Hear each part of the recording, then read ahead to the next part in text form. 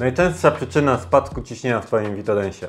Ciągle musisz dolewać wodę? Co dzień, dwa, co tydzień i masz już tego dosyć? I chciałbyś się dowiedzieć, co prawdopodobnie jest tego przyczyną?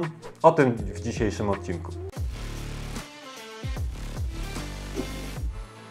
Który element e, instalacji najczęściej jest odpowiedzialny za spadek ciśnienia? Otóż taki oto mały coś, ale nie, że on jest całkowicie za to winny, bo nie, ja bym go nie skazywał od razu na 20 lat bez możliwości wyjścia na, jak to się mówiło? E, parol, na warunkowym. nie. Aczkolwiek przez ten element najczęściej e, wycieka woda, a jest to zabór bezpieczeństwa. Ale nie dlatego, że ten element jest całkowicie winny za tą sytuację. Nie, on w zasadzie robi dobrą robotę, tylko po prostu e, naczynie przeponowe, które powinno stabilizować ciśnienie w instalacji. Jest to taki baniaczek napełniony z jednej strony powietrzem, a z drugiej wodą. Po prostu już straciło swoje całe powietrze i już przestało funkcjonować. A czym jest naczynie przeponowe? W takim dużym skrócie jest to taki amortyzator, który łagodzi wyboje na drodze naszego kotła. Wyboje, które powstają w momencie, kiedy woda się nagrzewa, robi się jej więcej i, to, i ta woda wtedy ma gdzie, że tak powiem, się rozprężyć, czyli właśnie w tym naczyniu przeponowym, ściskając przy okazji powietrze.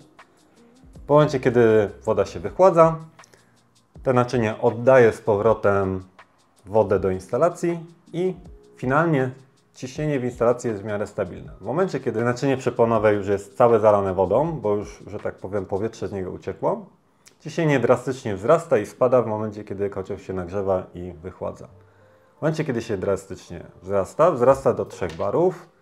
Zawór bezpieczeństwa robi dobrą robotę, czyli wyrzuca nadmiar. No i finalnie nam ubywa po prostu ciśnienie i trzeba ciągle go dolewać. Czemu tego czasem nie widać? albo zazwyczaj czemu tego nie widać? Otóż w większości nowych kotów Wismana ten zawór bezpieczeństwa jest podłączony bezpośrednio do kanalizacji.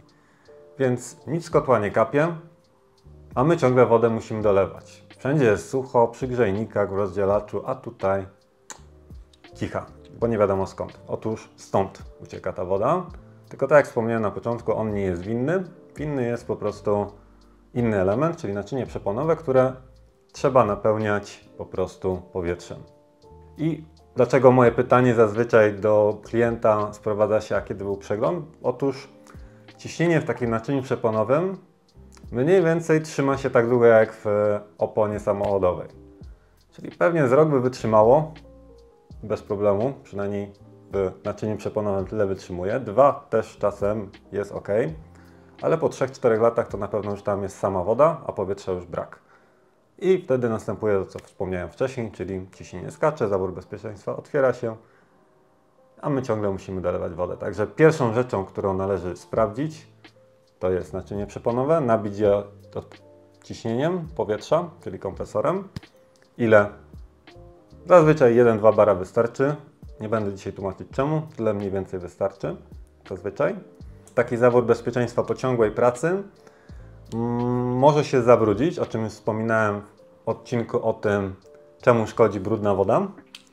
I kiedy, on, kiedy naczynie zostanie napełnione i będzie już dobrze funkcjonować, a dalej nam ucieka ciśnienie, to prawdopodobnie po prostu ten zawór dalej upuszcza, bo już został zabrudzony i mimo, że już ciśnienie jest odpowiednie, to dalej przez niego sączy się woda. Mam nadzieję, że Ci pomogłem w tym dzisiejszym odcinku. Tobie życzę wszystkiego dobrego. Cześć!